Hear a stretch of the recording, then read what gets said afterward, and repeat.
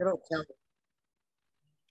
Got it. Hi, I'm just going to welcome people to this panel discussion um, today that we have been looking forward to, to hosting for quite a while. And we have a really great group of people um, who will self-introduce, but um, basically it's, uh, um, I'm going to be showing a recorded presentation from Juan Garibay, who's a researcher at the Curry School in, in University of Virginia.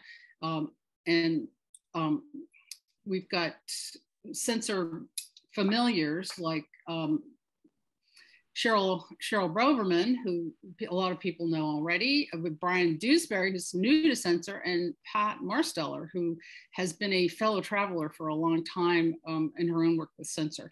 So I'm going to start off. We're going to start off with a, with a sort of research-oriented uh, material about the the importance of social justice and, and basically equity focused educational questions um, in embedding them in the curriculum. So I'm going to start running this by uh, this presentation by Juan, and he'll be followed by Bryan, who will then be followed by uh, Sherryl, who would then be followed uh, by Pat. Hello, everyone. My name is Juan Carlos Garibay, and I'm a professor of higher education at the University of Virginia. I am excited uh, to have this presentation shown to you all today about my research on social justice and STEM integration, showing how it matters and what factors promote or hinder the inclusion of social justice in STEM curricula. Before I get into the research, I'd like to start off by grounding the presentation on several debates that are happening in STEM higher education. First focuses on the purpose of STEM education.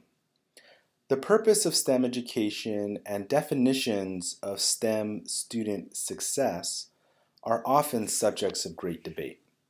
STEM education researchers, practitioners, and policymakers, whether explicitly or implicitly, communicate and often emphasize particular qualities and competencies they believe STEM graduates need to effectively address the significant challenges of the present and future. On one side, much of the mainstream discourse in the U.S. on the purpose of STEM education is centered on the need to maintain U.S. global economic competitiveness.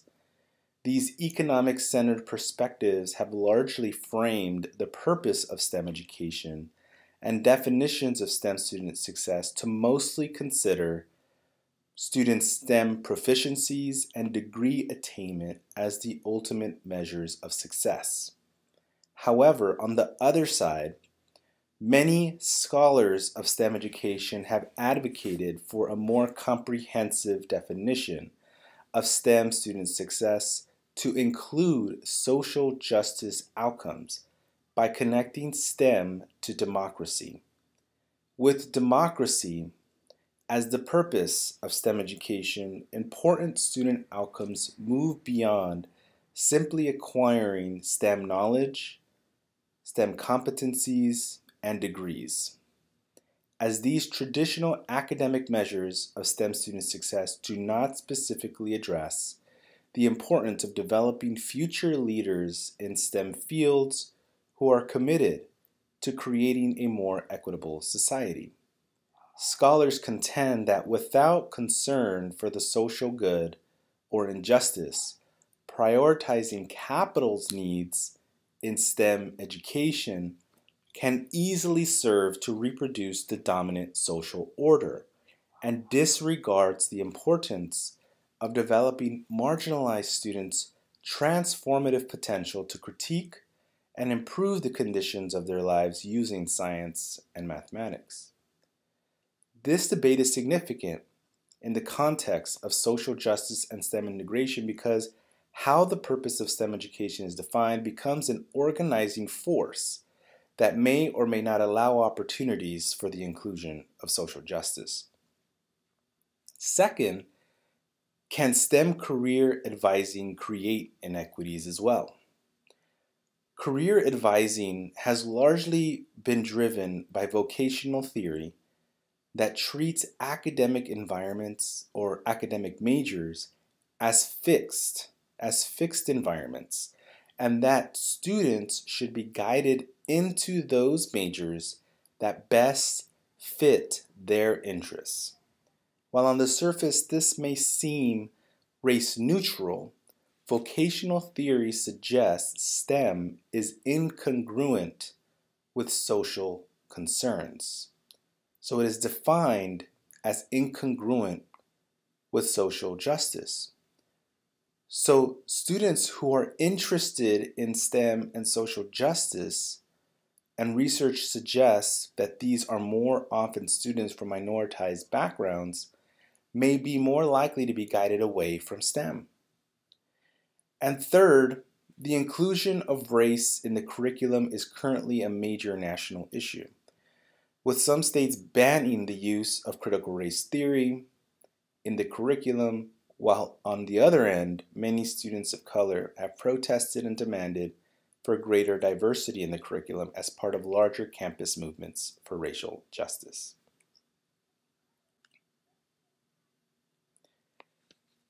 So my research has informed these debates and revealed the importance of the integration of social justice and STEM in several ways. First, it has shown that there are limitations to STEM education and the training of future STEM professionals for social justice.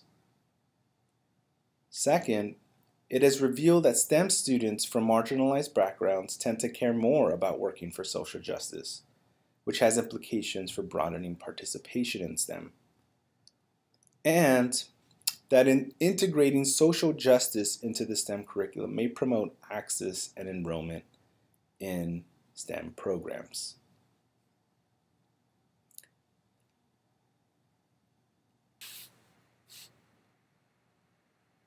Okay, so now I'll go over some of the research studies that I have published that focus on the importance of social justice and STEM integration. My first study in this area, titled STEM Students' Social Agency and Views on Working for Social Change, leveraged a national longitudinal sample of over 6,100 undergraduates to examine whether there are differences between STEM and non-STEM students on the importance of working for social changes to their career goals and their level of social agency, which is an outcome that measures their value on taking social political action to promote a more equitable society. Major findings from this study reveal that undergrads who majored in STEM had lower social agency outcomes at the end of college than their non STEM counterparts, as well as lower values on working for social change. This study's findings demonstrated a critical issue in STEM training and STEM student development that has important implications for society and addressing social injustices. After finding out about the limitations of STEM training, I then sought out to examine what types of college experiences and institutional contexts predict the long-term development of STEM students' desire to promote a more equitable society through social political involvement and through research using a national longitudinal dataset of over 6,300 STEM bachelor's degree recipients. This study, titled Beyond Traditional Measures of STEM Success, Long-Term Predictors of Social Agency and Conducting Research for Social Change, I examined STEM students between their first year of college and seven years after college entry.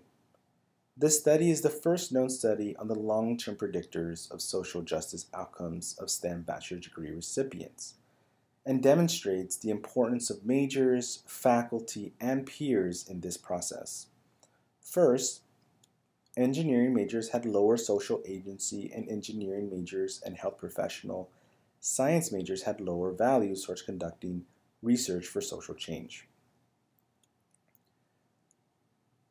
Second, Research and mentorship experiences with faculty promoted students' values towards conducting research for social change, but not their social agency. And additionally, students who attended institutions where STEM faculty, on average, have higher civic minded values, promoted their, their social agency over the long term.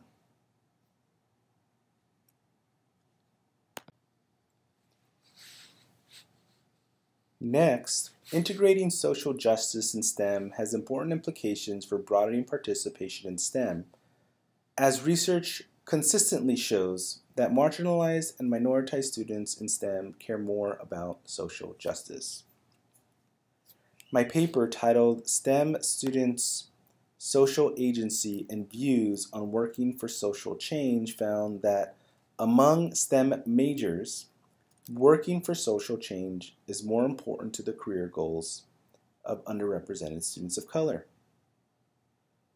The second paper I discussed on the previous slide also found that among STEM bachelor's degree recipients, underrepresented students of color had higher social agency and views toward conducting research for social change. Women had higher social agency and higher SES students had lower value towards conducting research for social change seven years after college entry. Additionally, a paper that I published in 2020 titled Can Holland's Person Environment Fit Theory Produce Troubling Outcomes for Racial and Ethnic Underrepresented Students in STEM found that among STEM bachelor's degree recipients, underrepresented students of color who graduated from or were enrolled in a STEM graduate professional program or were in the STEM workforce had higher social agency than their white peers.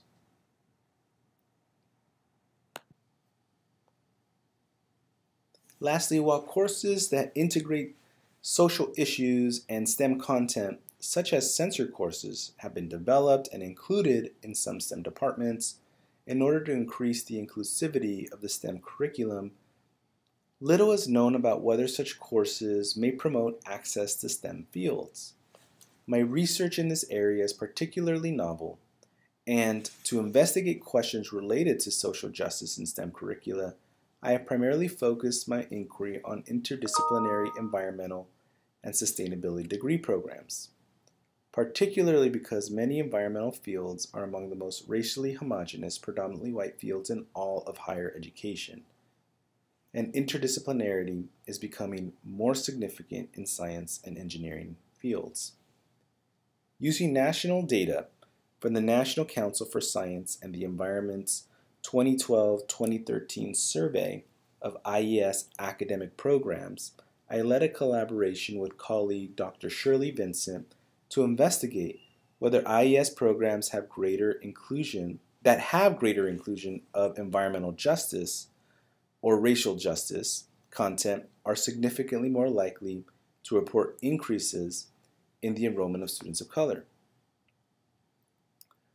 This study, called Racially Inclusive Climates Within Degree Programs and Increasing Student of Color Enrollment, and examination of environmental and sustainability programs helped to expand racial climate research by connecting the racial climate to our understanding of college major choice and showed that greater inclusion of racial justice content or environmental justice predicted increases in student of color enrollment in IES programs.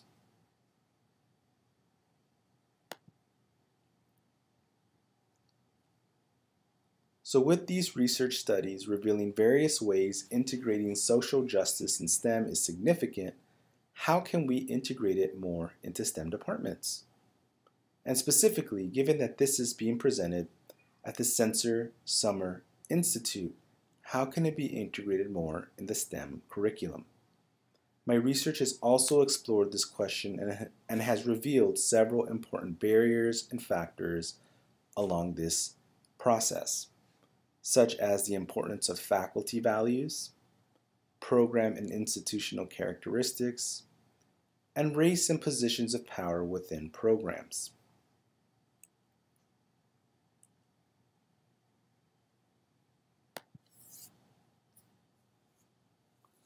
Okay, so first, it's important to note that faculty values matter for social justice inclusion and STEM curricula.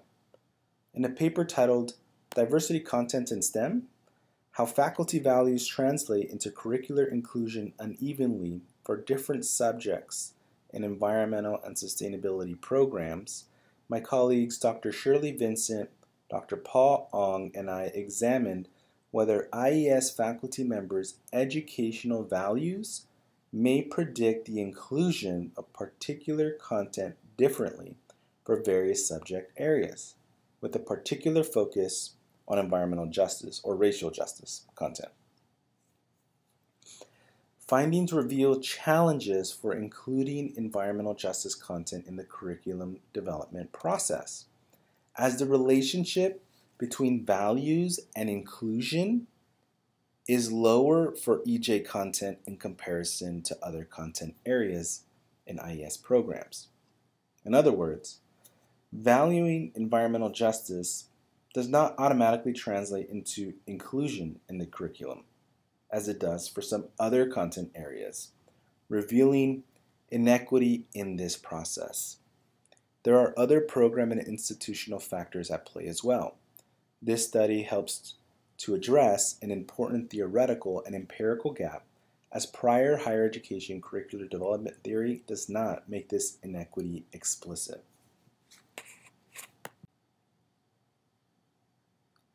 Okay, so what are some of the, uh, those additional program and institutional level factors at play? Another study with my colleagues titled Program and Institutional Predictors of Environmental Justice Inclusion in U.S. post-secondary environmental and sustainability curricula found that doctoral research universities have a direct negative effect and indirect negative effect on environmental justice inclusion through faculty values towards EJ content. Additionally, programs with increasing enrollment of students of color promoted greater environmental justice inclusion while those that are primarily STEM have an indirect negative effect on EJ inclusion through faculty values towards EJ content. Thus, student demographics within the program, academic discipline, and Carnegie classification each play a role in whether environmental justice gets included at a greater level in IES programs.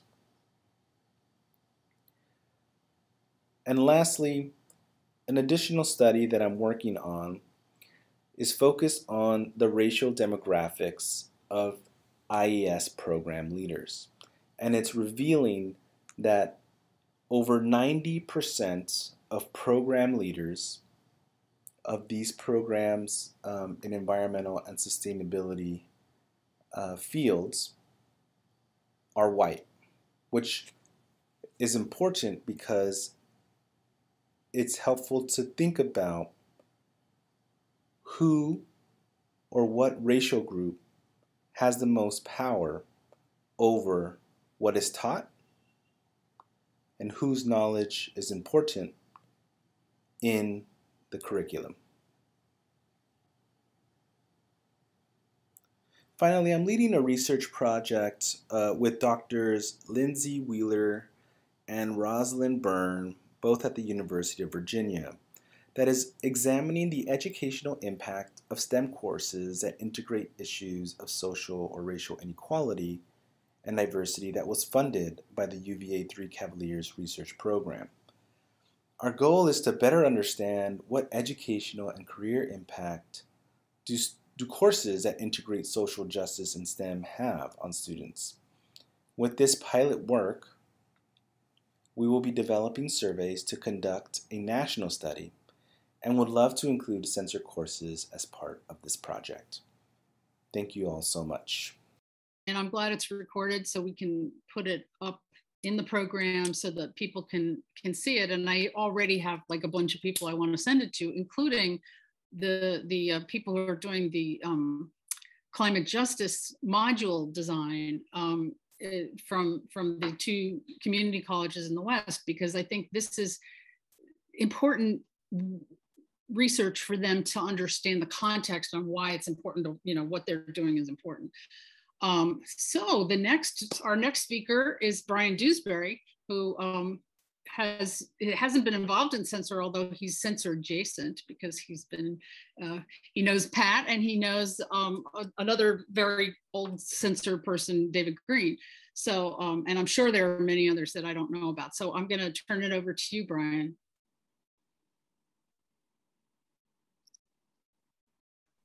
Davida, I can't believe she didn't mention that I, I, I know that I know you. I mean that that should have been like the first name of the list of names. That that should been. But Davida knows everybody, so it just goes. That is true. That is true. Well, like, I will say I will say that Pat and I met when I was a sophomore at Morehouse College I did a summer program at Emory University that she directed. So Pat Pat wins this game by a long shot. She she met me when I was 20 years old, guys, right? So it's it's been a, a good journey. Um, so good to be here. Good to not be adjacent anymore, I suppose, to be uh, perhaps part of the crowd finally. Um, you know, when Davida reached out, uh, she one of the things that was asked is to kind of talk about the research that we're currently interested in and you know, I, I decided to go the no slides route because selfishly I try to avoid slides whenever I get the opportunity to do that. And I, I wanted to perhaps just spend the next 10 minutes or so talking to you about how my program has shifted a little bit over the years in response to where we see the pressing needs for uh, diversity and equity are, right? Uh, my name is Bryan Dewsbury, for those who I've never met. Um, I, I, I was up until about a month ago an associate professor of biology at the University of Rhode Island. I've transitioned to Florida International University this summer, where I'm, I'm an associate professor, but I'm also associate director of the STEM Transformation Institute and we'll be leading some projects there on um, science communication, uh, more faculty development, and of course, continuing the inclusive education research that we do. Um, I I, I did enjoy the first many, many years doing, you know, what, what perhaps was mostly classroom research. And I think, um, I, you know, I think this crowd mostly believes the hype or believes the evidence of active learning and inclusive teaching and its outcomes. Um, one of the biggest, uh, like, perhaps biggest barriers we've encountered in faculty development is con- convincing faculty to sacrifice the all and almighty content in favor of actually enacting inclusive practices. And so we have a paper coming out this fall that will show the impacts of that. Um, but, but I want to maybe talk a little bit on a little bit of a broader scale because I, would say in the, I don't know, 10 plus years I've been part of this conversation, I've, I, I feel like it's evolved in ways that, that are not necessarily always helpful, right? So, you know, 15, 20 years ago, the the, the, the narrative, the, the weed out narrative was all about what the students couldn't do, right? They were not prepared, they were ne- they couldn't study right, they, you know, students, students, students. And so, but then also this notion that you can only pass 15% of your class, there, there was a little bit of an ego attached to that, right? Oh, you know, my class is so, you know, esoteric and highfalutin that only, only these 15 best students uh, can make it to the next semester. I, I will say that the, the uh, a lot of that narrative has changed. I think that I think we, we're in a little bit of a better place with that, right? Um, you know, maybe the pendulum, you know, depending on where you are, the pendulum has swung maybe a little bit too far. But uh, it's funny. Every time I read Chronicle of Higher Ed, I would say there's like a, a eight month cycle where somebody would write an op-ed talking about, you know, lecturing is fine, and then the active learning mafia would be like, oh, no, no, no, you must do active learning all the time, every single half second. And, and I was like, okay, like I, I, I do active learning, but, but could we just relax a little bit? Because the, the, you know, we're still just talking about how to get content across, right? And and I felt like both sides of that argument always missed the point. There's a really beautiful paper written in 1996 by Elizabeth Moje in Reading Research Quarterly. And the title of the paper is I Teach Students, Not Subjects. It's an ethnography. She did an ethnography of a chemistry high school teacher. And that's the title of the paper, right? So if you kind of sit with those words for a while, you, you automatically have a different framing of what it means to be an educator, what it means to be in a classroom, right? So I, I, certainly don't believe, right? And, and this is, and many of you have taught many more students than I have, but I've yet to meet this student who's, who says, who says, I just paid $25,000 or $50,000 in tuition. I'm looking to gather as many F's as I can. That's my goal here. I just want to get those F's and fail out because I just want to be in debt for a degree I'm not going to get. I have not met that student, right? I, understand that sometimes when you see the results in your classroom, you might feel that's how, you might think that's how they feel, but I actually don't believe that's how they feel. Likewise, I actually haven't met the faculty member, even some of the most inert some of the most intransigent, some of the most, you know, rebellious, who really truly just want every student to fall flat on their face. And I know, I know sometimes it doesn't feel that way, but I'm a Steven Pinker fan just for this particular thing. I mean, I don't, I don't always agree with Steven Pinker, but I do take the I believe in your better angels approach. Right? I do believe that the faculty member deep down wants people to love physics. I do think deep down, they want people to love biology, to love chemistry. And I do believe deep down the students want the same thing. So the question then, to take an Ibram Kendi type of lens here, how do you design a system that empowers both of these actors to be their best selves? That's a different kind of question because in, in the first narrative, you're looking for people to demonize, right? You're looking for the students who don't study right. Okay, it's your fault, and that's why you couldn't pass this class. In option B, you're looking for the faculty who wouldn't just drink all the Kool-Aid, the active learning Kool-Aid, and say, oh, because of you, all of these students are failing. In option C, right, you're thinking, well, what are the policies and procedures we need to have in place to ensure that people see that this organization is communicating that inclusive practices is what we value here. And once we start asking those kinds of questions, it forces us to address the elephants in the room that quite frankly, we have been a bit too coward to take on to this point, right? Because what would happen is I would be, you know, I have the privilege of traveling the country to talk about inclusive teaching and running workshops. But these super inspired faculty will go back to their colleges and like, I'm still paid $50,000 less than research faculty. I'm still on one year contracts.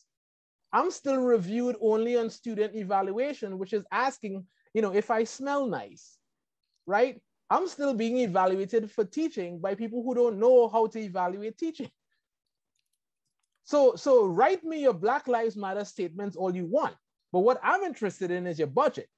I'm interested in your hiring policies. I'm interested in the support structures and the professional development that you provide for the people who do the thing that you claim is the most important function of your organization.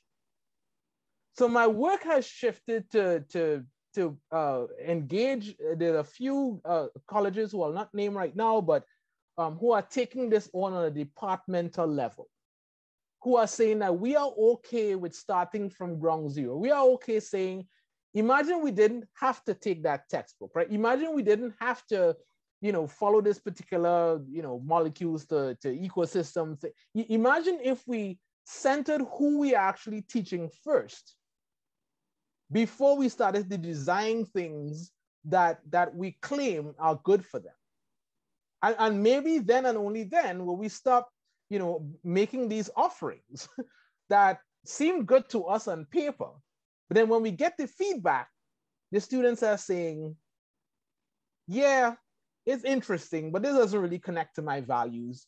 Yeah, it's interesting. Like the previous speaker said it in a recorded talk, right? This doesn't encourage me to, to get into social change. Yeah, it's interesting, but you taught a whole bio class and then mentioned Tuskegee study not once, right? yeah, this is interesting, but you think that science and the way we operate in everyday society are different when it's clear it is not. Because I'm watching black and brown people die from COVID at an alarmingly higher rate. So I, I'm seeing it. But you still want to talk, you know, just focus on, well, you know, viruses are really interesting because they insert their DNA into the cell. Okay, that is interesting. But there's there's impacts to what viruses do. Let's talk about that too, right? So when Elizabeth Moje talks about we teach students and not subjects, we have to remember that you know teaching subjects really relies on subject matter expertise.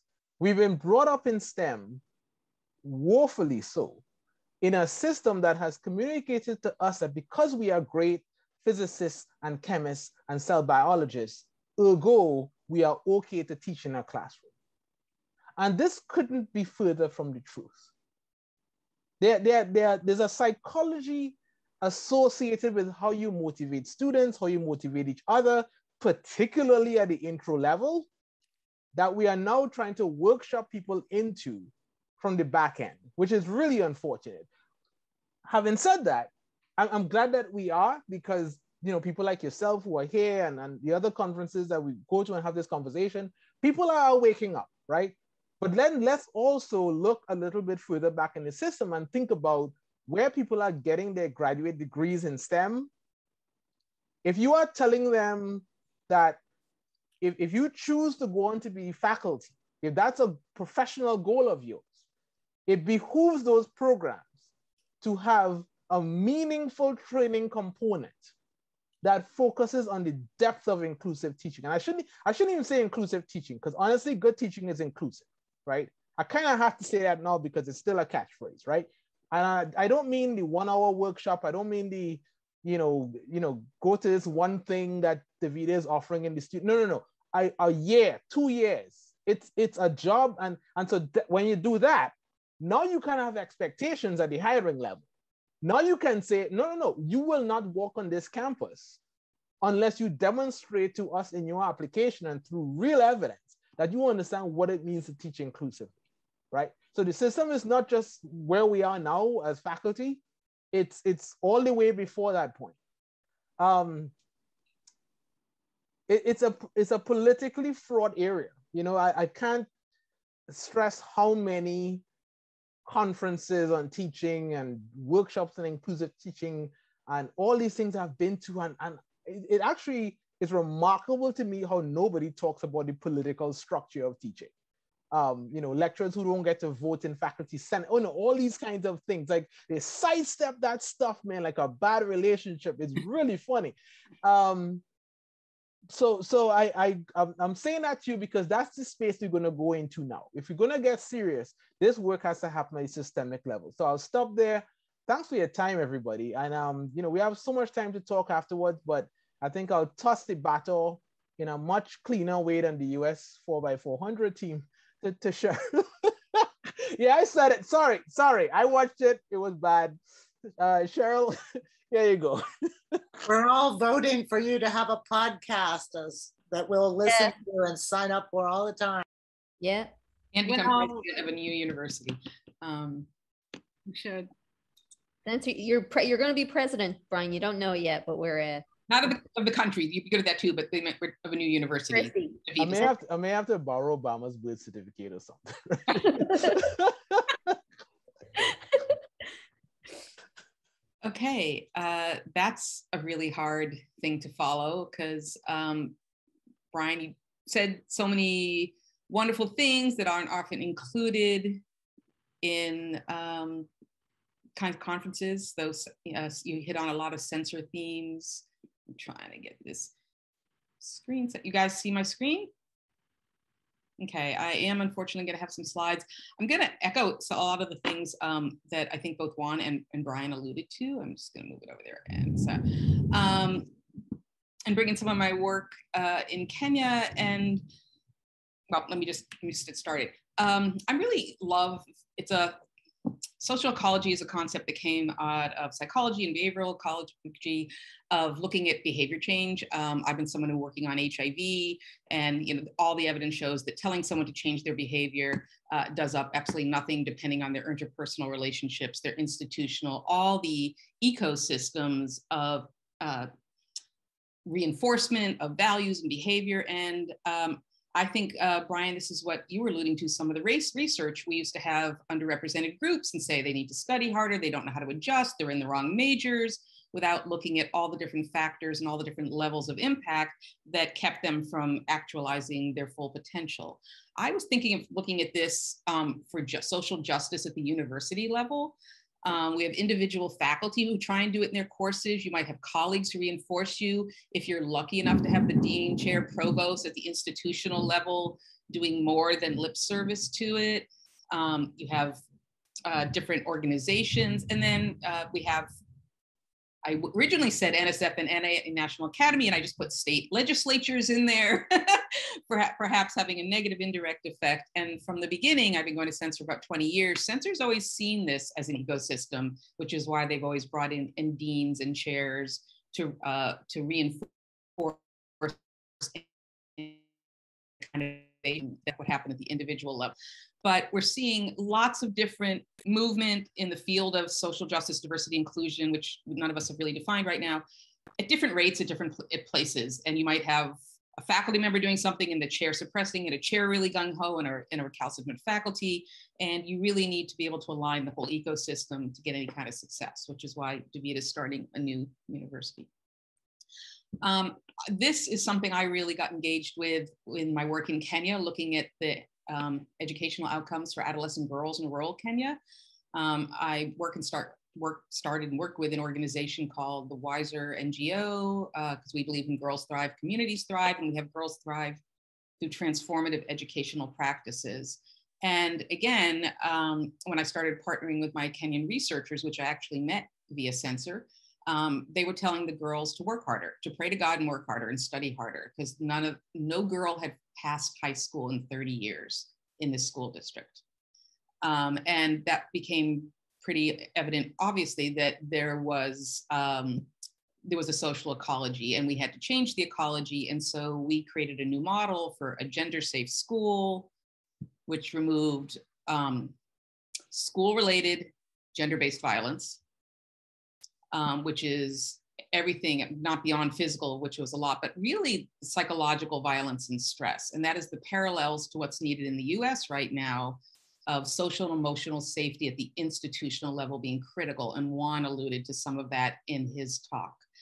Um, and again, where you can see, you know, it's great when all these things reinforce. In most universities, people are being tugged in different directions. So I'm really going to talk about um, how to try and do this and also the importance of social and emotional safety um, for, for good learning.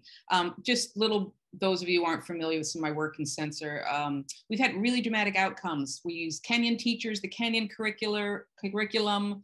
We're in one of the most poor, poorly performing school districts, but by changing the philosophy and of the school, uh, we have 100% graduation versus six regionally. 98% of our girls go on to tertiary education compared to 20% um, in the province. And our students earn government scholarships at five times the national rate because they score so high. And that is all through no content change. I shouldn't say that. We've actually done some really amazing um, applied workshops um, for social justice, but mostly um, recognizing they are allowed to be their whole selves and be safe in a school system. And psycho- I'm going to talk a bit more about psychological safety. Okay. Also, to go down at the very individual level, um, I have my own data that is similar to what Juan uh, talked about underrepresented groups. I've been teaching course on HIV AIDS for 22 years. Um, the word black is how Duke initially was collecting demographic data. Um, there is at least double the number of Black students enrolled in this STEM class compared to the uh, population at Duke at large. Um, also an increase in women for the most part, because uh, while it's a biology class, a virology class, we look at drug policy, the prison system, um, history of racism in the US, redlining, all those things as well. it's a classic SENCER model. I'm not going to preach the SENCER model. There was a really great workshops on that. I'm happy to show you some examples later on though. This is a topic we've been talking a lot about SENCER since the beginning that um, started out with non-majors courses. And um, Bryan brought up the whole holy uh, content. You can't mess with the content. Um, social justice tends to be in non-majors courses because there's a lot of faculty discomfort. So you get a self-selected group of people who are willing to do it. Certainly in my, I shouldn't, I have to be careful, this is being recorded. Um, I have many colleagues on campus who basically assume any social justice by definition makes it a non-majors class. And that's a kind of social hierarchy, uh, ecology issue that needs to change.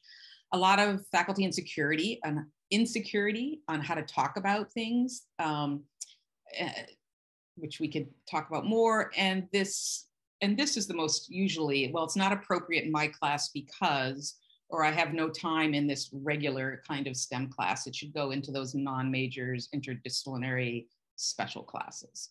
And I think that's something um, that obviously needs to change. Um, and again, that has to happen at higher levels to get it throughout the whole curriculum rather than just one faculty. But I'm going to try and picture a cranky faculty, your personal favorite, at least favorite faculty, and how you would talk to them about this is what I, the way I sort of tried to structure this talk. Um, also, go back and look at Jay Labov's comments in the opening presentation that there's a false dichotomy between science and civics. Um, again, huge amount of data that increasing civic components increases, re recruits people into the sciences, retains them in the sciences, builds there's a lot of data on the emotional connectivity to content leading to greater retention, a lot of brain science about this. Um, you don't have to do one or the other, they can be reinforcing. I certainly, Jay mentioned using coronavirus and doing more than virology. I've um, developed a whole course basically on coronavirus looking at how the impact of racism changes physiology in people who have been exposed to it and predisposes them to worse outcomes for coronavirus. So while still teaching biology. So here's a few strategies for social justice. And I'm using that very broadly. That could be different content, that could be a different climate, that could be the inclusive classroom, which should be what all classrooms are. And I was thinking about this and I was thinking there's really three main domains that you can all work on these in different levels at different times. You can layer them in. Um, the easiest one is to try and set up an appropriate classroom environment. Um, we all expect our students to just bring their brains to class, not their bodies and their stress and their adrenals and all the other parts of their body. We expect them to be just thinkers, but we also expect them to just bring parts of their brain. Um, brains are managing lots of different components of their lives at once. Um, classrooms include both reward centers of the brain of advancement and growth, and strong threats embarrassment, rejection, isolation, being the only one of something in the classroom, whether it's a woman in an engineering class, a hijabi woman, an underrepresented person of color. Um, and all of these threats turn on the amygdala, part of the brain which processes social threat, and it is on sustained vigilance for signs of social threat. And students might have social threat from the campus they're on, from seeing what's happening in the news, from the classroom they just came out of, where a professor was inappropriate. And if you build up too much cognitive load in this part of the brain, you shut down the reticular activating system, which means you can't actually process information as well. Um, that filters and organized and shut down by the amygdala. And um, there's a lot of great brain science that how to make a warm and welcoming classroom is to learn how to calm the amygdala and allow the rest of the brain work.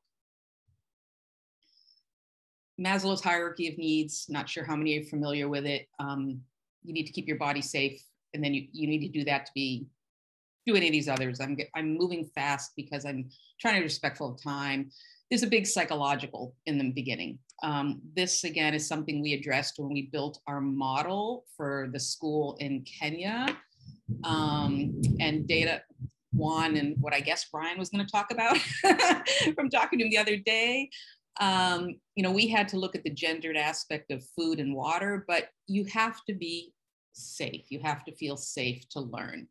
That there's just basic physiology on that. So psychological safety matters.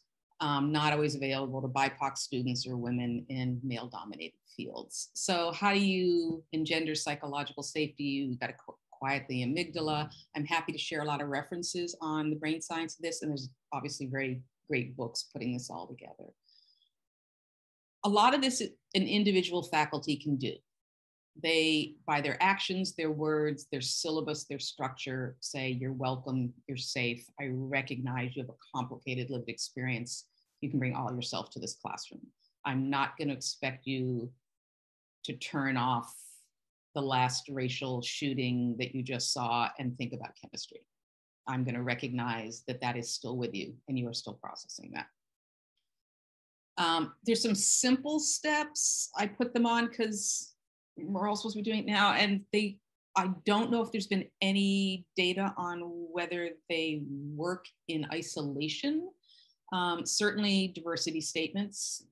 I'm against boilerplate because it looks like boilerplate and your chair made you do it. I think you need to personalize it um, talking about growth mindsets. I talk about how much I learn cons- constantly, um, land acknowledgements. It just looks like virtue signaling your dean passed it out. So I think these are necessary but not sufficient.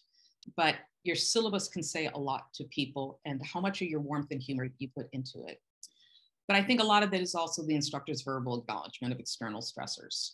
Um, whether it's talking about it for 90 seconds at the beginning of class, bringing up global events throughout the semester or local events. Um, a lot of that allows students to let a breath out when they come into your classroom and get ready to learn.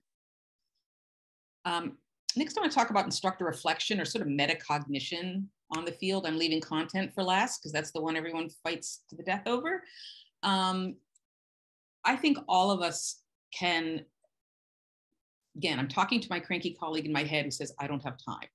I said, you know, you're there 90 seconds before, you occasionally can mention, you know, where does this field of knowledge come from? How is it created? Who is involved? And that can be seeded throughout the semester. You don't have to go all out on it. So here's an example biology class. I think every science class could have social justice in it. I, I picked one out of our course catalog organismal diversity, structure function how do you make that a social justice class or how do you add social justice elements to that? Well, commentary on the field. Who did the discovery? Who's, who's done the naming of all the different organisms we're studying? What's the historical role of wealth, leisure, social status in the study of organismal diversity? What's the role of colonial exploration in creating the study of diversity? Who traveled around the world?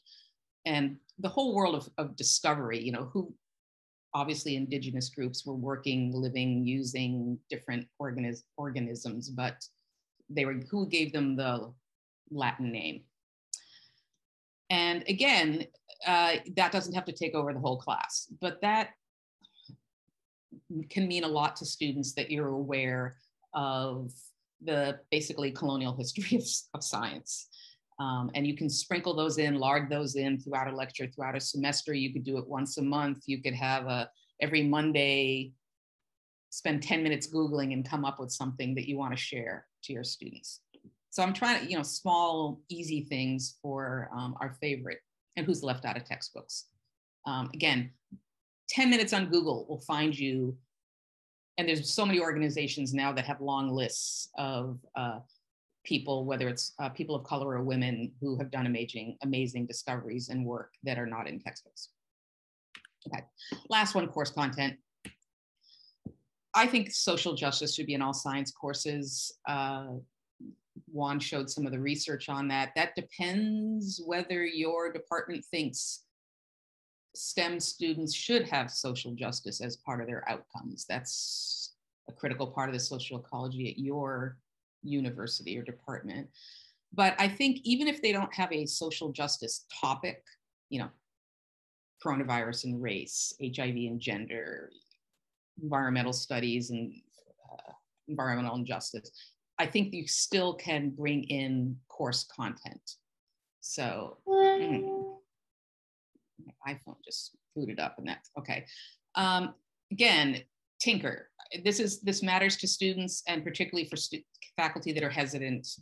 I know Juan, I'm with I'm with Bryan burning the chairs in the revolution, waving the flag. I want to do that, but I know not everyone's going that way. Um, so for organismal diversity, uh, have a lecture on patenting of biodiversity or bioprospecting. I found a fascinating case that a US company actually did patent turmeric for wound healing, which has been used in Ayurvedic medicine for millennia, then they eventually got thrown out.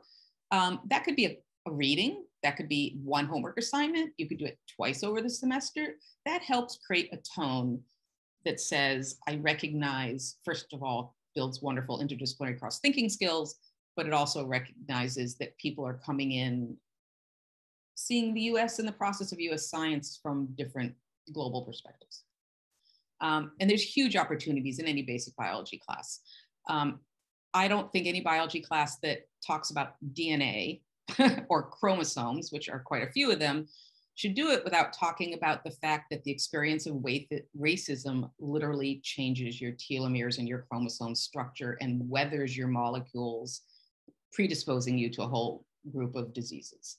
And that is just while you're talking about telomere structure. You can weave that in. There's so many different ways where you can teach a standard molecular biology class and weave in um, a huge number of social justice issues.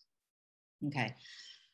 All right, but there isn't enough time. I'm going to cover all the content. If you go back to brain science, the more students feel emotionally connected to content, the more they retain. Um, you have to build an emotional connection to activate strong memory. And by full sensorization, of course, I'm giving the whole SENCER spiel of why everything should be fully sensorized. But if you aren't able to do that, or if it's a progression or you're edging along a colleague, even these small things matter. Um, I see this as you're signaling to your students, I care, I'm aware, I will act. Um, put them together. It students notice I've been really pushing this last year's course evaluations. Someone said I pushed beyond hegemonic frameworks. I was really impressed with that.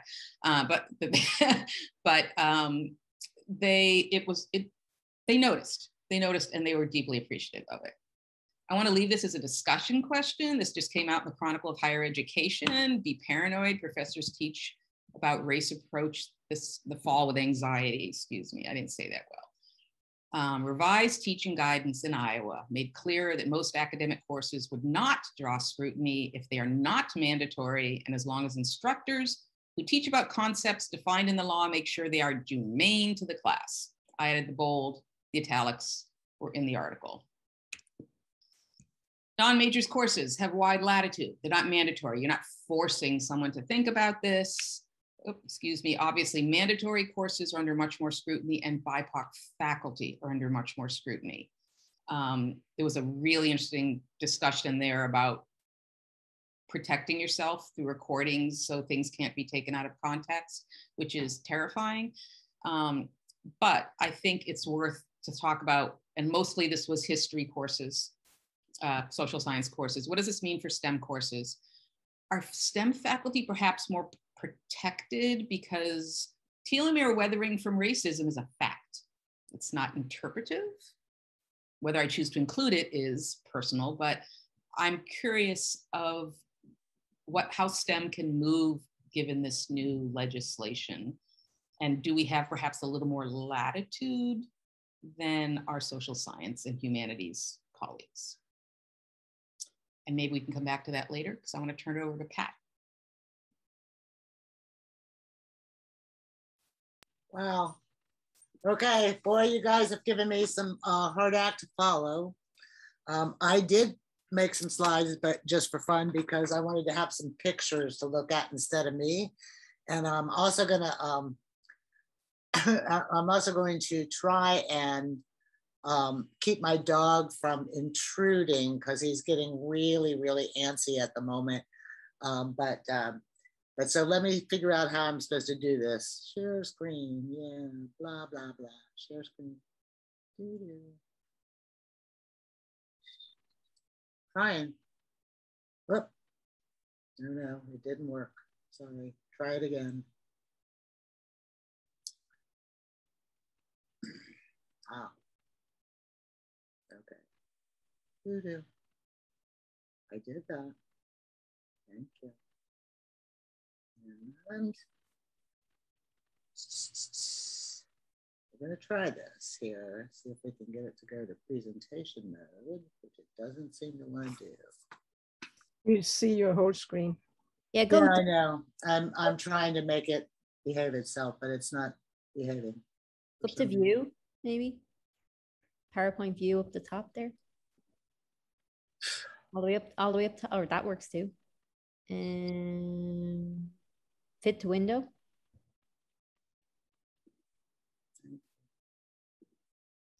I don't know Hmm. why it's not behaving. Well, see up, see up the very top. All the way up at the very top. Uh, oh, you mean at the, Go into that view, yeah. Go, maybe go into that view and see if that does full screen. Uh, presenter view there we go. we'll try this. or slideshow. Okay, very good. Except now I can't see anything. Can you see anything? We can see it, I think. Ah, there There it it goes. is. Yay. okay. Sorry. Woohoo! It's, sorry, kids. It's uh, it's been one of those days. So, Perfect now. and sometimes the nothing works, right? It's just like, oh, okay.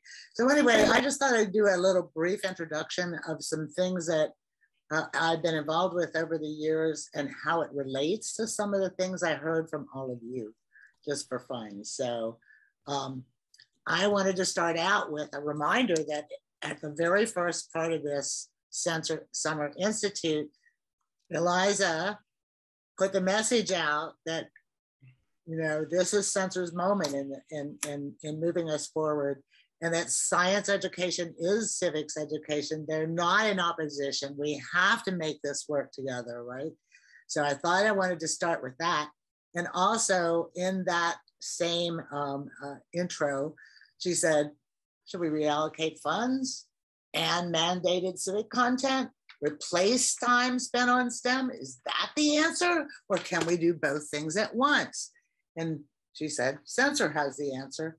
And I say, so does the Accelerating Systemic Change Initiative and BioQuest and Scientific Spotlights and a whole bunch of other people. And what we need to learn to do is learn from each other and collaborate and take this really forward, right? So uh, briefly, I wanted to say that I've been involved in things that I think um, have been invested in social justice, equity, diversity, and inclusion um, since grad school. I actually taught a summer institute for uh, counter stereotypical science students at the University of Florida. I don't know how many millions of years ago, but probably like 40 ish, 50 ish.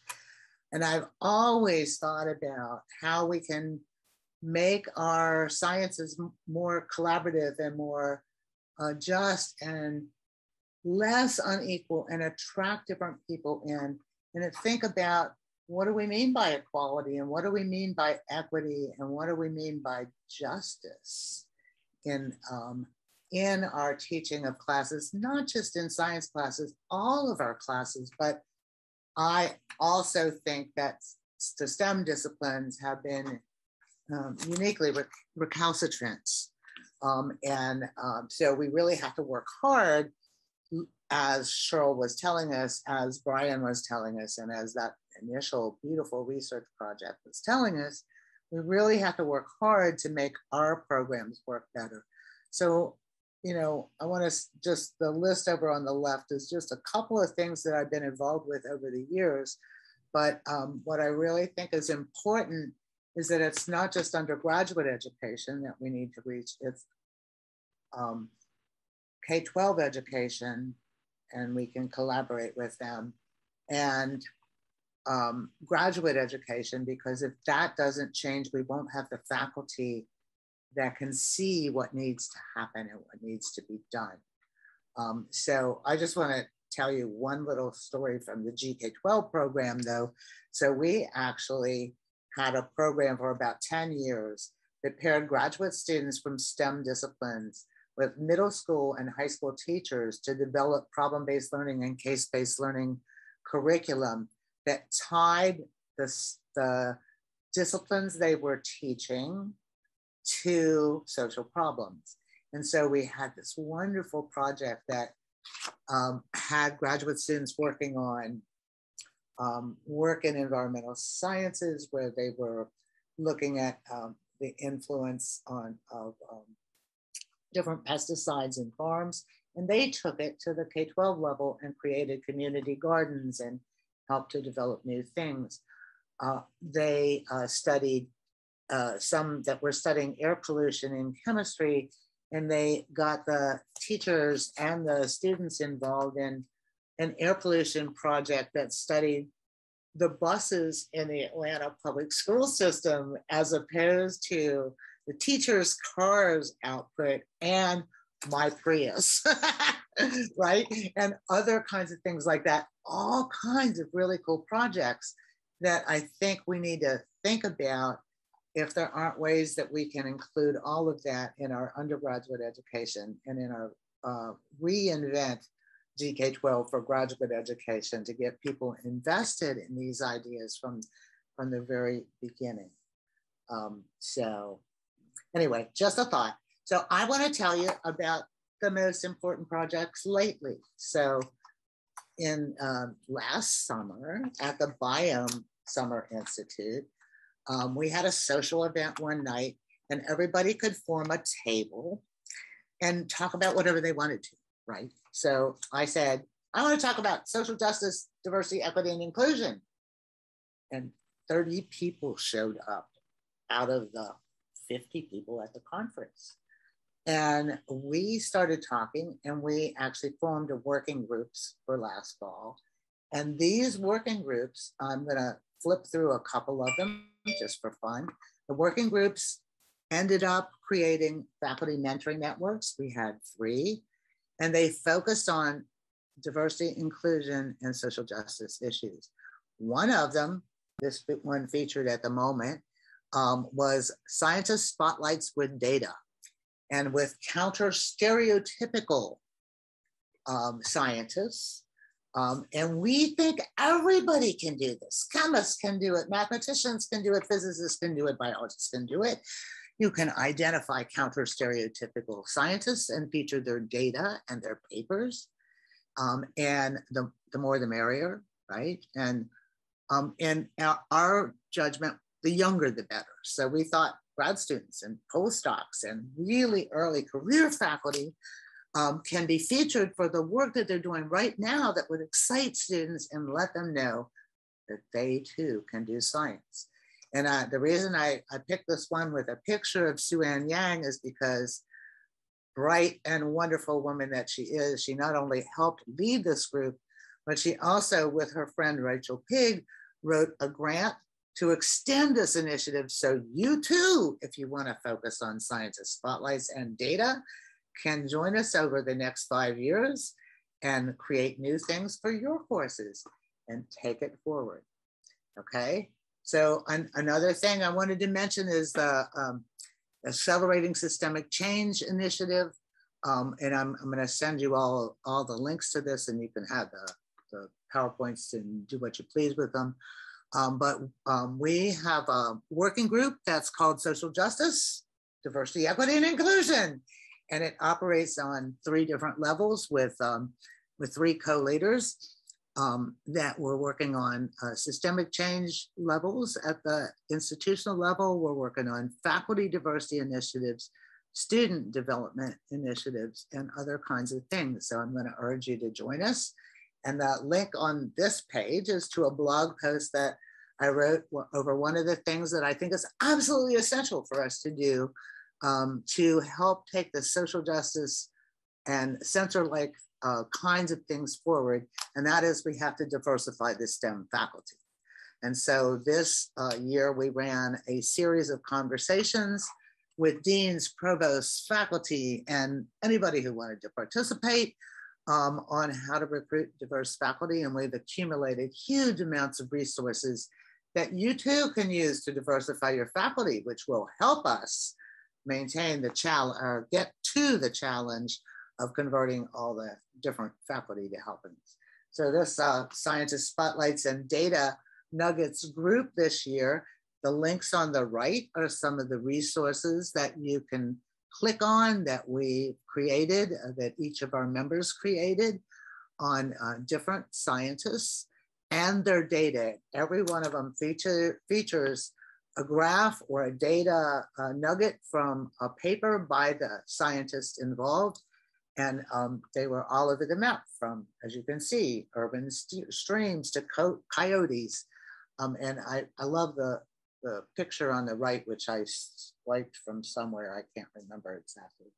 Uh, but I just love the idea of us thinking about our students. We do teach students, and we want students to see themselves able to do what we can do. And so, if we could just feature more people that look like them. The other big one, a faculty mentoring network that um, emerged from this, and um, the links that are on the side here go to uh, the um, the workshops that we did at the biome about two weeks ago. So you can also go and see all these things. All the materials have been developed. The other feature was we decided to focus on the impact of redlining on cities around the country. Um, and we used tools from various social justice sites that show graphing and mapping and that allow you to allow students to explore health inequities and all kinds of other things in um, many cities that um, uh, that emerged from the redlining that started in the 1930s, right? So there, there's a there's a wonderful data site with maps that you can feature, and then also look at health disparities um, in those same cities for 150 cities. So imagine if you use that in your class, and people can pick their own city and look at census blocks and compare them. And then they can also have projects that emerge from that. So one of our uh, one of our uh, projects was using things like um, iNaturalist to examine biodiversity in different areas that had different redlining um, aspects in the past. One of them looked at water quality in the areas uh, across cities.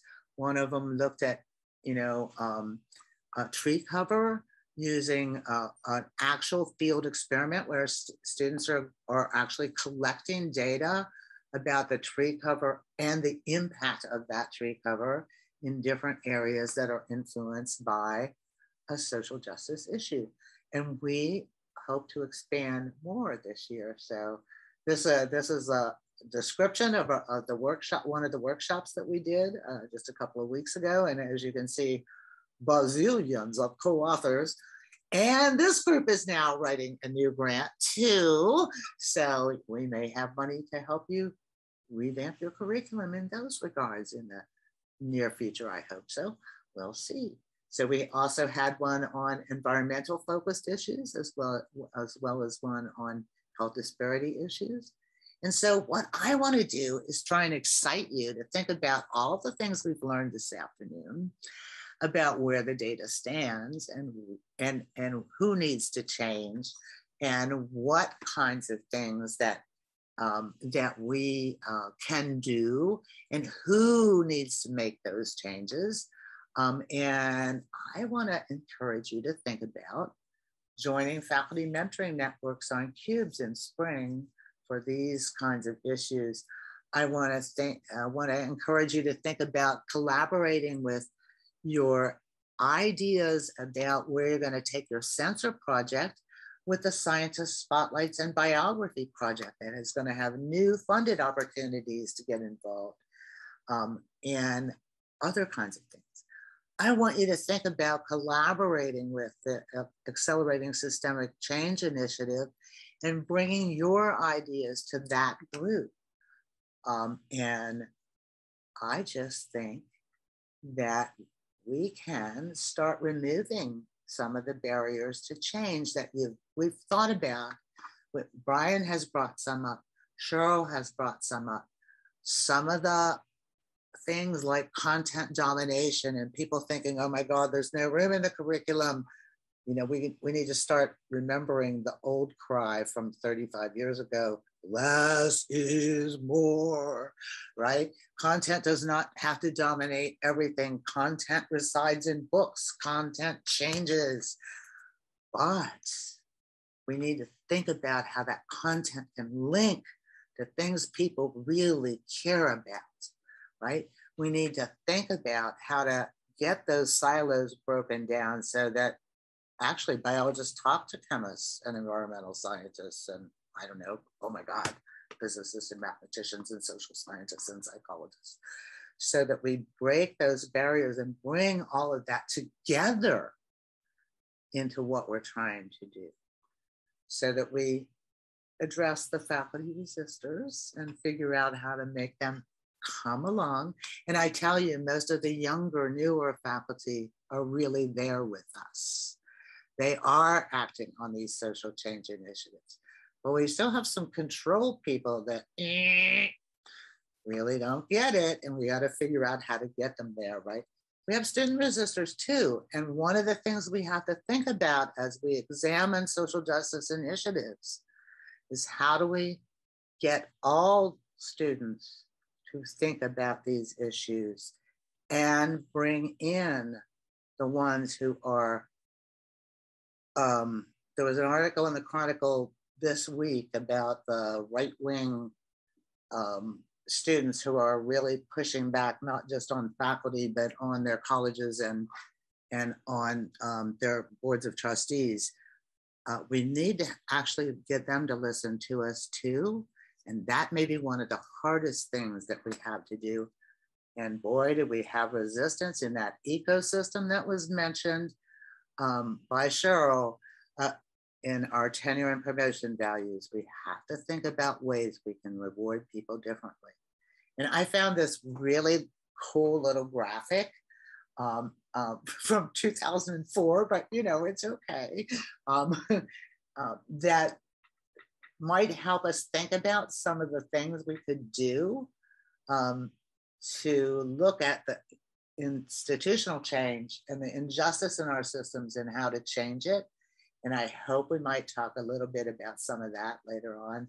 And then I wanted to just end with something that was from, um, from um, Eliza's talk again that Jay Labov presented in, in, an article that he, he did on uh, where he mentioned censors so much, right?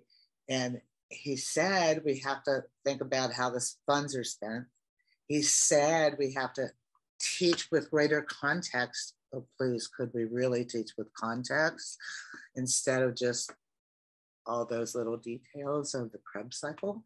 Um, you know, can we really think about teaching our disciplines because we're teaching students and students will be citizens and lawyers and congressmen and presidents and moms and dads and make decisions every day that really involve civic engagement. So we really have to go there. And I really do think that science education is for civic engagement and responsibility, but we have to convince our colleagues to get there. So I wanted to end on that note, and let's me see if I can get my screen to come back just for fun. Um, and um, we have some questions. We'll, we'll, raise some questions in the chat, but we have a, a, number of questions that we thought we might come up with if you guys don't want to start. But we've taken a lot of your time already. So I think it's time for you to talk. So Pat, you're still sharing your screen, so we can see oh, your. Okay, I gotta undo that. Yes, I do. Sorry. No, no, it's okay. I just don't. want to. Where is it? We're gonna unshare down the bottom, I think. Yeah, except that the screen thing went. Oh, wait a minute, stop share. I got it. There you go. There we go. Sorry about that. no, no. It's uh, I have two screens and uh, and only one of them the camera works, so it does weird stuff, flipping back and forth. So, but anyway, so. Well, this is pretty heady stuff for us to be grappling with. So, Pat, why don't you pose some questions and prompts for for us to ponder. Okie dokie. So shall I put a few in the chat or do you want to just uh just let You- me you jump in just- with them? You can say them, you can put them in the chat. I mean, I think, you know, we've collectively, a lot of us have been talking about this for 20 years now, right? So, and, Yes. and working, working in our, in our rivulets and the places that we do have levers. And in fact, we're, you know, we're all cited in levers of change, that AAAS thing. Um, so we are, but oh yeah, Bryan's obviously saying that's the he's the polite person here, He's telling me, telling me if you guys have any questions. Um, certainly, but anyway, 20 years, we, we gotta we gotta figure out an action plan. But actually, yes, go ahead. I I can't raise a hand, but other people can. and then that's our hand up there. I turned off my self view, so I couldn't even tell if it was working. um, I had a question. This is kind of working back to um, some of the stuff that Bryan said about it, actually, Sherryl as well, about um, just the massive need for systemic change. I had the very sobering experience a couple of weeks ago of being asked by a um, Black graduate student in our Ed Leadership program to read her dissertation, which was a um, ethnographic study of the experience of Black graduate students at our predominantly white institution. And it was excruciating. Um, and what I found most miserable was the reports that faculty who were teaching nominally social justice courses were so tone deaf and had absolutely no i mean i i know the vermont white progressive. And they think they they do i i just how so it's not just convincing the the brand. Um, so it's not just these people who are resistors, it's these people who think that they are already doing this who are totally tone deaf. And we we recruit and lose more what black and Hispanic faculty at UVM. Our turnover is ridiculously high and it's just it's just appalling. And i don't have any solutions. I'm just throwing this out there that it's not enough to get our black and other historically marginalized students through the program and into graduate school. We have to get them to the point where they feel welcome at our institutions and then i'm going to shut up i don't have any answers i'm just throwing that out there as another layer But but there but there actually are some answers out there. So I'm gonna uh, I'm gonna send you some material, uh, Lyndon, on uh, that we've developed over the couple of years um, with the ASCN group, um, and also APLU has some really really good materials out there. Carol was going Um, to say something too. There, sorry, sorry, Pat. Yeah, Sherryl, were you go gonna ahead. say something? No, I'm writing back to Katayun saying, just sorry, just being comment in the chat, just assign Black in the Ivory Twitter as training or whatever. That's which is yeah. Bryan, you, I don't. So I learned something that was very new to me a couple of years ago. Um, we had a young woman um, who was denied reappointment, and I was on the committee that reviewed her her appeal. And um, these cases are all very complicated. Um, one element of it obviously was she was a young woman, and the department head in this case happened also to be a woman. Um, another one was actually she was young and vivacious and energetic, and um, the people that were in, most instrumental in denying her reappointment were older and less vivacious and more tired. Um, the thing that struck me, however, was that one of the things that the case turned on. So I, I want to emphasize that this was somebody from the Department of Be- Behavioral Science and Leadership. So it's very much a social science. And we tend to think, the, the one I want to talk about, we tend to associate with STEM, but I think it's actually much more broad. So what happened was um, one of the critiques of her teaching was that she was, the code word they used was too passionate about her subject. And they viewed, I shouldn't say about her subject, she was too passionate in the classroom. And their view was that what was going on in the classroom was very objective and you had to keep emotions, um, anything that was subjective out of it. So they had a very sharp distinction between objective, almost scientific, and subjective, where the values came in and things like that. And that's that's very interesting to me. So we tend to, I'm actually a little bit worried that our emphasis on science right now is going to further that, that there's this idea, that there's this objective um, truth, and that's the domain of science, and the other, the values things are someplace else. But again, I want to emphasize that this was not a case that involved the hard sciences or the natural sciences. It was a case that basically involved social sciences. So what, what was revelatory to me was that this, this sharp distinction between objective and subjective um, is one that actually makes it much more difficult to talk about social justice issues in the classroom. And in this case, impacted somebody's career. And of course, the sad thing is that this person would have added a tremendous amount to the institution, um, but as a result, we, we no longer have her. Well, I see some nice chats about teaching evaluations. How do we get rid of them? What was interesting in this case was that her teaching evaluations were really good. Mm-hmm. And the students, um, I have to be a little bit careful about what I say because I was, this is. Um, we're recording, we're recording, Frank. So. Yeah.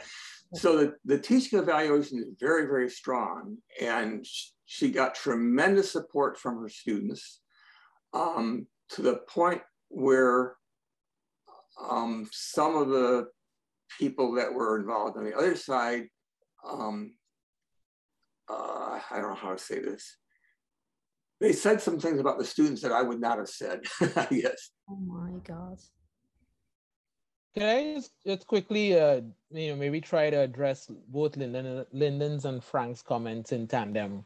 Um, uh, just just because I see something that arise sometimes in these um, conversations that I, I think we can address perhaps more directly than we have in the past, right? So we have we have all this scholarship about, you know, faculty who don't feel like they belong, they leave for whatever reason, you know, Lyndon attributes themselves, you know, attributes to some of that.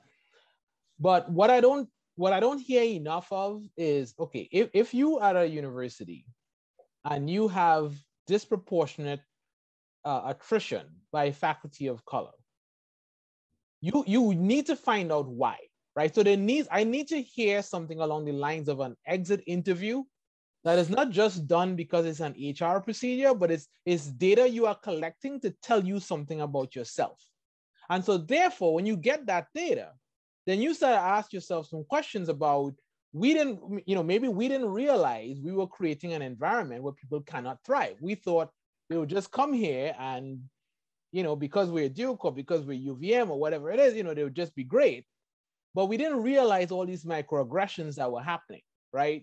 So, so what happens is that people leave and then everybody kind of stands around and scratch their head like we don't know why they left, don't know why they left. We have this scholarship, but then this scholarship is what it is, right? It's scholarship. So we I'm not saying that this scholarship is wrong, but that's not like an institutional data set, right? So you, you can't necessarily just correlate what such and such et al published to what happened at your school. You want to actually ask those people, you know, what was your experience like? So, you know, I I was I was recruited away from you from URI and, and actually really loved URI. I think is a good school.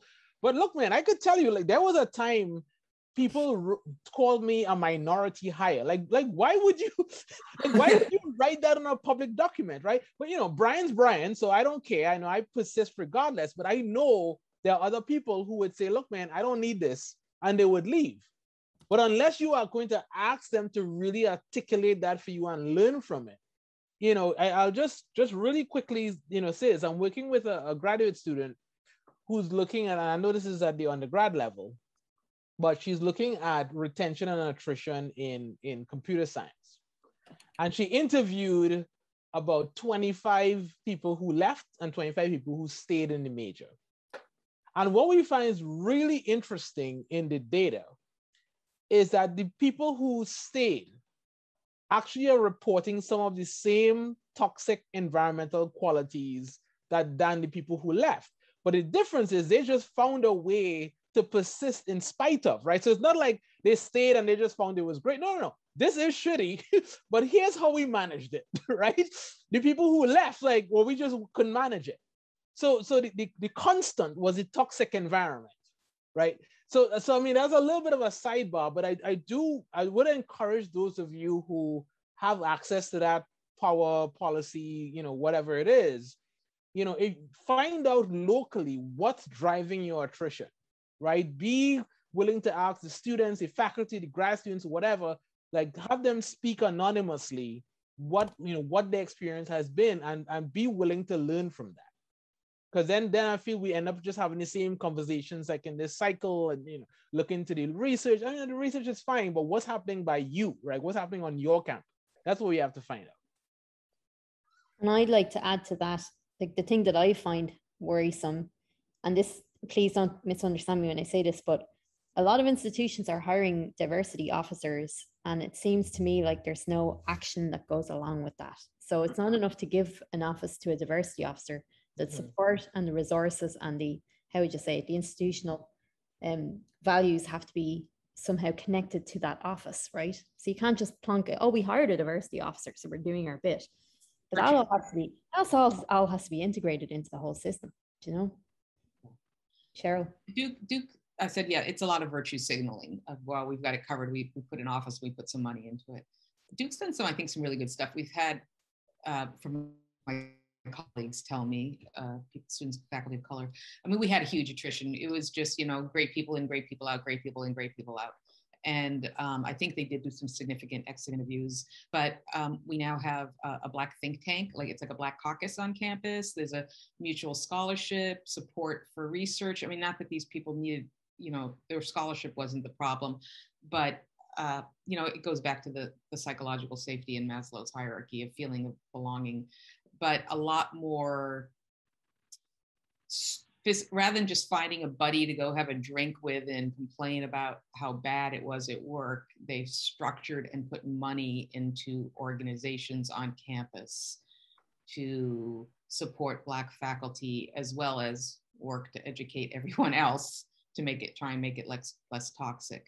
But it's been an interesting approach rather than just uh, stealing the best black colleague from Harvard and having them leave three years later from here as well. Which so so we seem to have gotten a, a little um, a little off the topic we started on, but I still think this is really critical and really important. So I want to I want to have us have some positive statements about this. So in the past several years, many institutions, STEM faculty, partly because of Bryan and others like him, read Becoming an Anti Racist Educator, joined groups, did discussions. At uh, our institution, um, over 70 faculty from psychology, biology, physics, and math had reading groups, and then with graduate students and undergraduates formed committees to make changes happen, right? So I want you to think positive. We can change this. Example, every one of our biology faculty members on their website now has a real diversity statement that was constructed with their undergrads, their grad students, and themselves about what they really mean to move this forward. Several social justice kinds of um, courses and uh, projects came out of those discussions that might not have happened 10 years ago.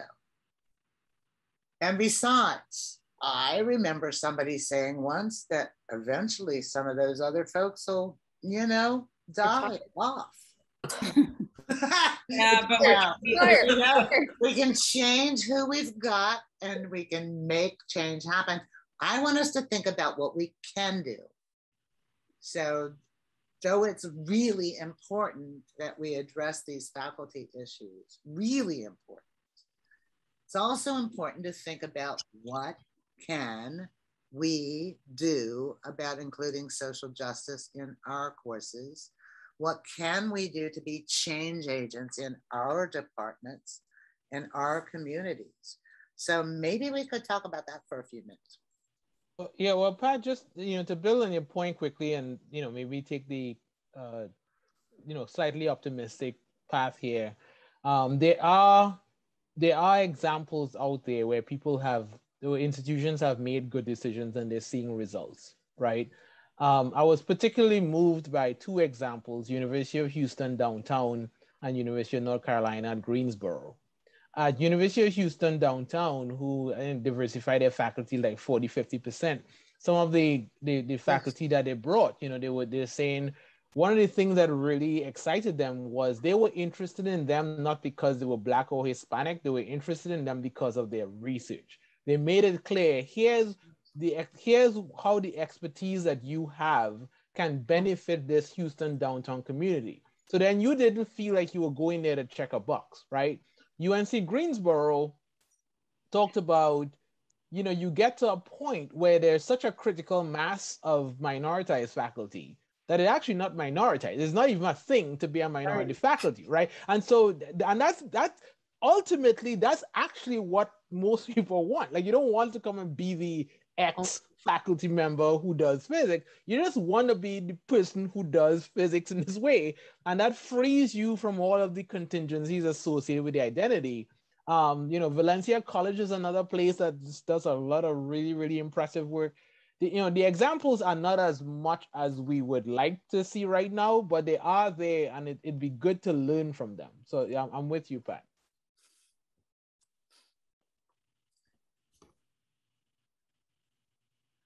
I just want to say, you know, move a little uh, positively forward. Uh, yeah, I guess,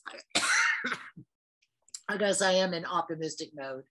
I think we can make lots of change happen right now, right? Well, of course, I'm emeritus, so I have to do it by helping you guys do it. So you all are the people I want to start moving and shaking the system up. And uh, let me help you if I can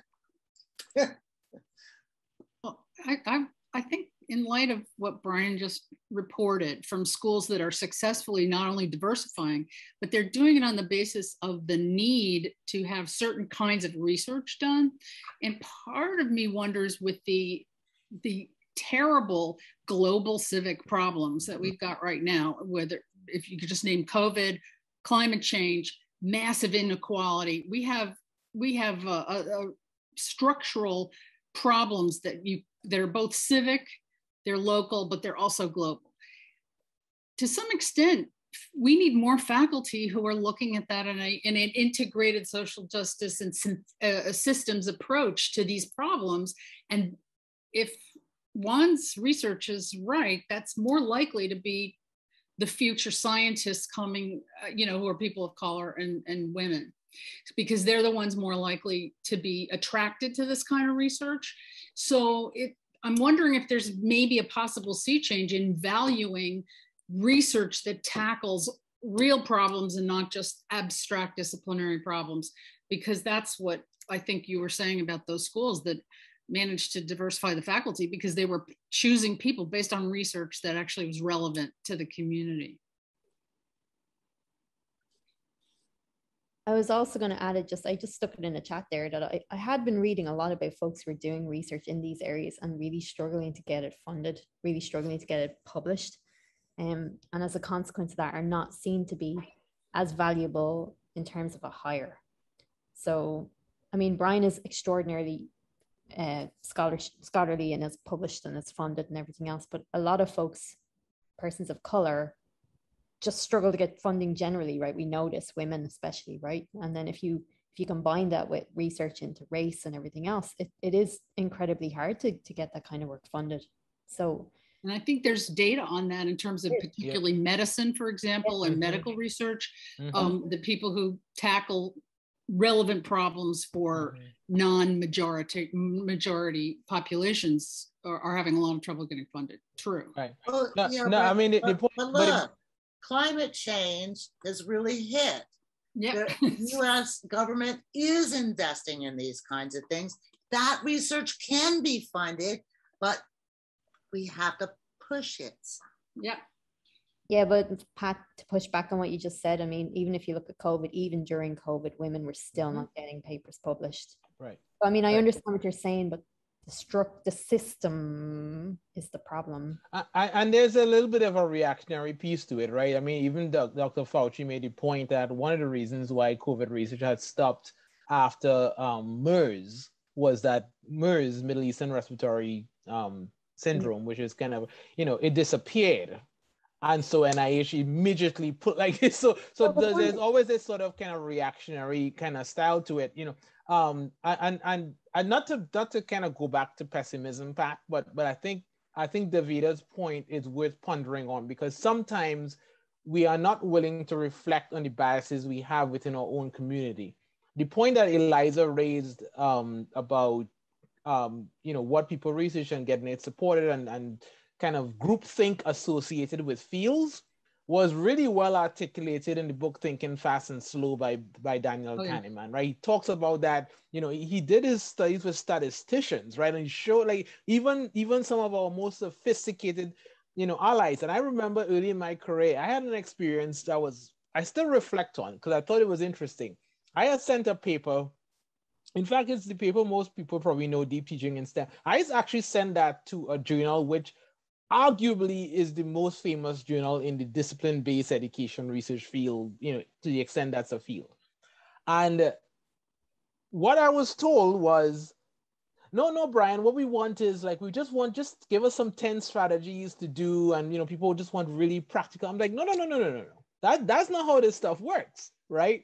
Now, I could have made the decision like, ooh, this is the journal in my field that everybody knows. And so I must toe the line and I must write my papers in a way that they can understand. Because if I don't get it in this journal, I won't get tenure. And I no, it's like, no, no, no. This is not the message that you need. You actually probably don't even know the message that you need. So I need to find a place that would allow that message to be articulated in the way it needs to be. And whenever you're ready, you will catch up, right? So so there's some there's some risk involved, right? Because not everybody's willing to do that, right? If you kind of have a mortgage payment tied to tenure, then you might say, look, man, I just need to, you know, the plantation politics, right? I need to just do what do what master says, and then then when I get tenure, then maybe I'll take a risk or two. So so we we can't. I'm with your part. We have to be optimistic, but in that path to optimism, you know, let's be willing to kind of face down all of the kind of levels of power we all are kind of dancing around to do the work well, we but, do. But but Bryan, that's what I mean about hmm. we have to think about how to be change agents within our system. And that means maybe we have to change the tenure and promotion policies. Maybe we have to get, you know, outside of our own disciplines. Maybe we have to do some other kinds of things that will make the system more compatible, that will allow people in and have them feel comfortable and allow them to change the curriculum to teach about social issues in a biology course or a physics course. Maybe we have to, you know. Well, well to be fair, I think some of that is happening. Um, yeah, that's the optimistic part. You know, I have a couple grants about that, and I know, I mean, well, I many in this group also, who do that. So yeah. it's working because it works. I mean, I, to, to, some extent, the argument has been made that the, that the, this these blind spots and whatever are hindering. You can't claim you want diversity on the one hand, and then somehow never find people of color's work quite right for the discipline. You know, you can't you can't claim both of these goals right? And I think there's a certain kind of hypocrisy that research itself could expose. The way the MIT research showed that when you had two, two resumes and a woman's name was on one and a man's name was in the other, but they're identical, somehow the man was somehow ranked higher. So, so we've got data and research could actually show and expose some of the stuff. Well, that's that's at least my hope. Amy. Yeah. So um, the a really interesting conversation, um, very thought provoking, and also very reminiscent of a lot of conversations we've had um, over the years, especially in the SENCER community. Um, and I, you know, there was the quote that um, we teach students, not subjects. I think it's also important to recognize that the systems we're talking about changing are made up of people. They're made up of faculty, of colleagues. Um, I work and have worked for 30 years at an institution that is funda fundamentally based on principles of social justice. Bryan, you were at Santa Clara, did something with us last fall. I think it was last fall or something. Mm -hmm. And, and we're Jesuit school. Yet I can give you a list of names of faculty who were denied tenure because their work was based in social justice and that in the traditional disciplinary fields. And they were given a lot of bum advice along the way, um, one would say, um, to, to not focus on work that was um, more traditional. And that traditional perspective doesn't come from the administration. It never came from the president who was a Jesuit priest. It came from the faculty in those departments. And also the hiring of faculty comes from the search committees and the faculty in those departments. And so as we begin and, and as we think about this work, um, the change agents really need to be on that ground at that grassroots level. Because I can pretty much guarantee, I have seen deans, provosts, multiple presidents at my institution be committed to social justice, be committed to diversity and inclusion, uh, and, and have their own families be incredibly diverse, but hit a brick wall because the department doesn't bring in a diverse pool of candidates. And so I think that um, uh, as we consider the future, I want to ask all of you too, is this moment in time different? Is this different than two years ago? Has enough happened through the pandemic, through the racial justice issues going on, has enough happened to shift our institutional barriers and our academic faculty mindset to move this forward because we've had a, more than an earthquake, more than a tidal wave occur in our society. And is that enough to shake things up, to make our, uh, our eyes be open? Or is this like a Parkland moment? You know? I think it's different Parkland. in two ways. You know, one one good and the other bad, but a consequence of the first one. Um, social justice issues are certainly very, very visible now and much more visible, much more open than they were before. But the problem is that that has, there's much more increased polarization. And that polarization, which was maybe in the background before, is now also much more, more overt. So it's, there's a good side and a bad side to it. I think it's going to depend on, Katayun has her hand. Oh. Hi, everyone. Sorry, I'm in a very hot um, compunction about putting myself out there as who I am. Because uh, there were five boys after me before there was even another girl. So, you know, uh, and I think we all come from different places and different um, different traditions and um, and have different concerns about um, about the tenure and promotion system. I mean, some of us jumped off that track like 30 years ago I gave up a tenured position to come to Emory as a non tenure track leader of a five year grant that could have lasted five years. But, you know, I think it just depends on where you're coming from and who you are, how you handle that. I actually like making my piece earrings accessible and my positions accessible to people. Um, I try not to do it in a confrontational manner, but I certainly want to be who I am and bring the causes I think that are important to the table, even if it's not always appreciated. But you know, I don't I don't think that's the only way to do it. I think you can listen. I think you can infiltrate. I think you can uh, bring other voices to the table. But I really do think right now we're at a place where we can make some real change happen in STEM departments. That's not where it was 10 years ago, or five years ago, or 30 years ago. There are young people willing to work with us to make change happen in graduate education, postdoctoral education, and in our courses. And now is the time to like jump on it, as far as I'm concerned. Do you need to raise your hand a second time? Funding out there that you, there's a brand new NSF grant that says we're all about race and diversity. What are you going to do? Just tell us what you want to do, and we'll give you some money.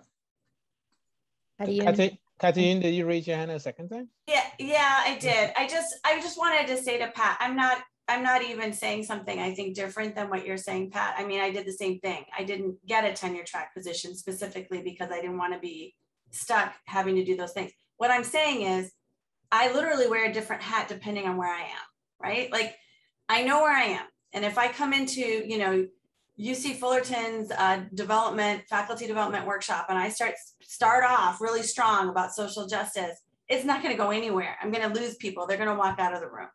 And so I, I'm just suggesting that if if we really feel we are change agents, that we have to know where we are. And sometimes, you know, you adjust just ever so slightly. I'm not saying you give up your values or you do something different. You just call it something different. So it doesn't terrify people I, I or it doesn't. totally agree, Katja. Yeah. I, I yeah. actually and do not wear the same clothes I wear in my faculty meetings when I go to meet with the president or the board of trustees. So I know how to code switch too. Um, I just think we need some people that are really out there. That's all. Yeah. I but think- I, I, I want to address Katayuna and Frank's point um, together if I can, because I, I think it's a really, really important one. I think we sometimes underestimate how much time these conversations is with the choir and how many non-choir members are not here and, and to both of their points um, they some a lot of times represent the barriers to that real progress that we're looking for. Um, i think a key thing in what um, you know kathy Yoon's anecdote points out is, is it's just a reminder that yes this may be a virtuous exercise this may be a moral exercise but it's also a political one and i was um, i was moved by a story i read a couple weeks ago in missouri where doctors and nurses were reporting, as you may or may not know, the vaccination rate in Missouri is very low, and also the COVID cases are very high. And, and doctors and nurses were reporting people coming in to get vaccines, but telling them, telling the doctors and nurses, please don't tell don't anyone tell I anybody. came to get, right? Yeah. And the, the sociologists who wrote the argument, to give sense a shout out here, um, were making the point that you have to understand what people's cultural reference points are right? When they when they, when you're trying to change their minds, right? When they decide not to get a vaccine or believe all this stuff is a conspiracy, this is not just people not believing data, not scientists or stupid. These are their friends. This is how they get jobs. This is how they get married. This is how they, they form social circles, right? So if you're not speaking to that that context, right, and you're just gonna come with a graph and be like, believe me or else you're stupid, that's that's not we're going to move it, right? So I think there's a similar uh, a lesson here for us, right? That when we go into situations where you you might you know, but perhaps by your own intuition detect that there's mostly non-choir members and choir members, you have to kind of think about what are the social norms here that are pushing um, a belief perhaps in a different kind of social structure, right? And that may involve and I, and Katerina, I'm with you. You know, I I say I, I like the labeling your classes advanced bio or whatever, and kind of sneaking this stuff in because you have to be willing to have a colleague tell you what that colleague told you, right? Because that's your way in, right? So because maybe that colleague would would actually have coffee with you and you can have a different kind of conversation. If you had come at them with your, you know, uh, like fight the power stuff, they would never come to you, right? And you would never have that opportunity. And so you, you almost have to be willing to to like, I don't want to use the word sell out because it's not really that, but but but hear things that that you might want to react perhaps in a different kind of way, right? But but just that's your way in. That's your way in because your goal is to find a better angel, not not to win an argument. Your goal is to find a better angel and appeal to that, right? Um, so yeah, thanks for raising that. I think that was a really good good thing to end on, assuming that's what we're doing. But absolutely right. But you know that point I just wrote in the chat. We used to have a lot of um, presentations by Dan Kahan, who run the Cultural Cognition Project at Yale, and, and Dan would say, look, if, if your church would ostracize you for saying you believe in, ev- in evolution, you're not going to say you believe in it. It's worth much more to you to just say I don't right. believe in it than right. it is to say you do, because right. you're you're you're raising the risk factor. And I think that's the question with the vaccines too. It's like don't tell anybody because I'll ruin my reputation in the circle that I'm in. So we also have to understand that ideological pressure to whether you believe in something or not, not to espouse or it's another another big challenge for us as communicators as well as educators. You know, we also have to advocate. It, it is, but you know, if we're going to make systemic change happen at our institutions along all of these lines for diversity, ed, ed, inclusion, and and social justice, then we have to push some of those boundaries. Absolutely. We, have, we have to push our board of trustees. We have to push our higher uh, our suite of provosts. well, yeah. It's easier to get people to push from the inside than because again, it's it's brain behavior. Nothing. Just once if you're an outsider and you're they're perceived as hostile, then all your all your you can't Listen, it's ever thus. So, well, we have to, we have to take some of our cues from social movement history because you know these things are hard you know yeah. the stuff that social social movements did in in in history were hard but they they some of them work and i guess we have to also look at at that advocacy role and and that constant pressure I, I feel like we should tie it up. We already lost. I get, didn't get a chance to thank all of you fabulous people for for such a rich conversation, which we are taping. Um, but I did want to say I'm going to edit some of it so people don't have to worry or feel self conscious if it's out there. And we also can decide how to share it. We don't. This is not assumed that we would send it out to the world and put it on YouTube. Yeah, we can do the so, first presentations part hmm, maybe yeah and I, I just like thank you from the bottom of my heart because you're really helping this is not easy and we've got multiple fronts that we have to work on so and we will do it yep. Yeah, thanks everybody can, it was really fun listening and talking talking with you well, thank you, Pat, and thank Even you. Even though my dog is so much my Sherryl and Bryan. Thanks, Carl. I'll write to Good Bryan. To see you all. Bye Thanks, bye. everybody. Toodles. Thank you.